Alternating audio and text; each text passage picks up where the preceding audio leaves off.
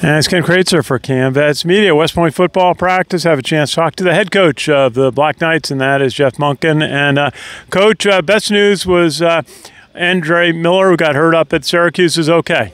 He is, and we're glad to have him back here. He was actually able to come back later that night, and and uh, so still still got some things to work through, but but doing much better, and and uh, we're we're very very grateful for that. And after, oh, that's great news. Uh, super. Uh, tell us, after looking at the film, uh, uh what were your thoughts? Uh, obviously, the, the first half went well, and the second half was kind of a struggle. I thought our guys played really hard, and and they were trying to perform, and uh, and I thought really did a nice job in the first half. We controlled the clock. We were able to get a couple of scores off of long drives. Um, did a good job defending them. certainly had some opportunities to make some plays, but but you know, being up 10-3 to a team that we have just tremendous respect for, and I think is very talented, uh, I thought we played a good first half. And unfortunately, we just didn't play well enough in the second half to win. Um, we couldn't get anything going offensively. We had four three and outs in a row. And when you keep giving Syracuse chances, they're going to take advantage of it at some point. And our, our defense kept fighting and scratching. And you know, at one point it was 19 to 10, and and uh, that was after giving them the ball over and over and over again. And, and we were just playing really hard, just not able to uh, to make the plays that we needed to, and and it was unfortunate. It would have been a big win for us. Uh, certainly disappointed, but uh, it's not the end of the season, and that's the good news. We get to play again, so we're getting ready for the next one. We get a bye week to recoup. A couple of practices this week. What are you focusing on during the bye week? just to get prepared for Boston College. It's another football team. It's going to be very talented coming out of the Power Five, and uh, and they've got a talented, well coached football team. And and I mean, this is the team that I watched just two weeks ago take Florida State, who's the number two or three team in the country, to the wire. So they've they got a very good football team, and it's going to take our very best effort to win. So we're focusing everything we've got on getting prepared for them, and hopefully we'll play better than we did in the last one.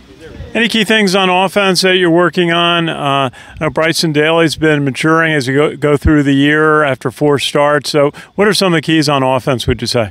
Oh, certainly we've got to do a better job of completing passes, uh, and that's not all on Bryson. That's that's our whole offense. That's protecting him. Uh, that's running routes where we can get open and get ourselves in position, get ourselves in position to catch the passes, uh, and then delivering the throws. Um, we got to do that. That's part of. It's just part of playing offense in our system at this point.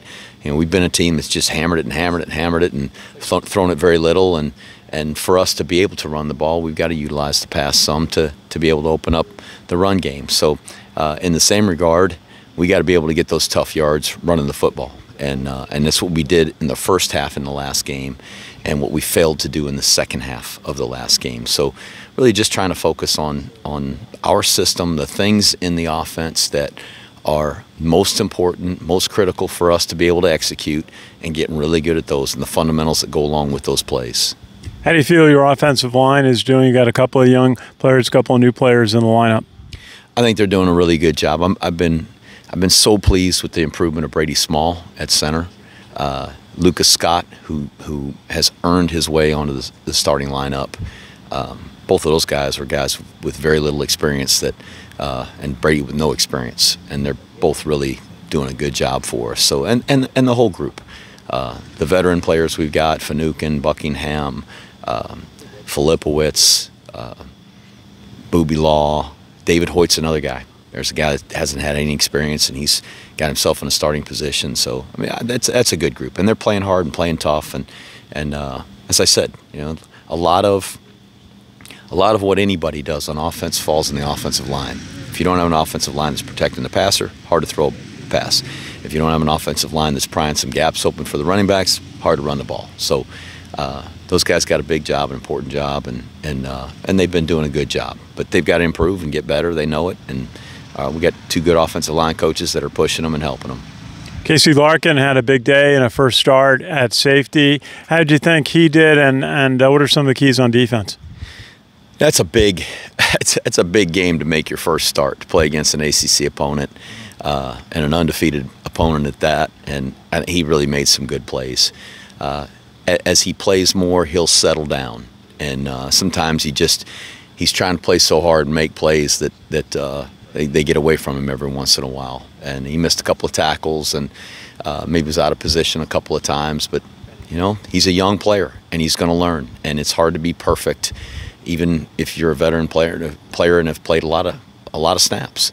And uh, and so he he's a player that we're really excited about. He's explosive, he's fast, he's athletic, uh, and he's he's going to improve. And I'm excited about the future with him. Last time Boston College came in, Army pulled off a nice win. Uh, remember Trent Steelman having a late touchdown in that game.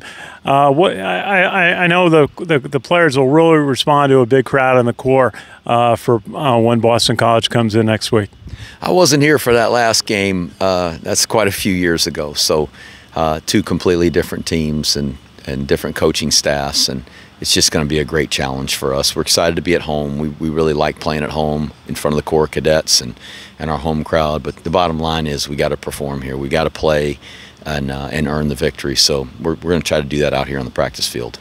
Army Coach Jeff Monken, great to see you and have a great week uh, during the spy week. This is Ken Kraetzer for Cam Vets Media.